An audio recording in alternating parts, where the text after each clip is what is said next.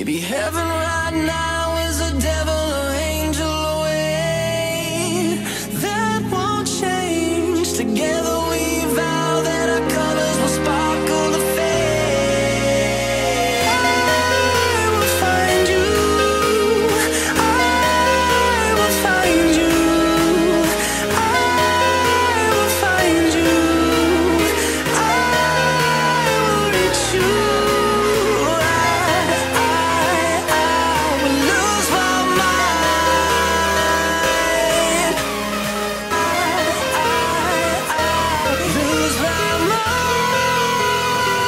this motherfucker out.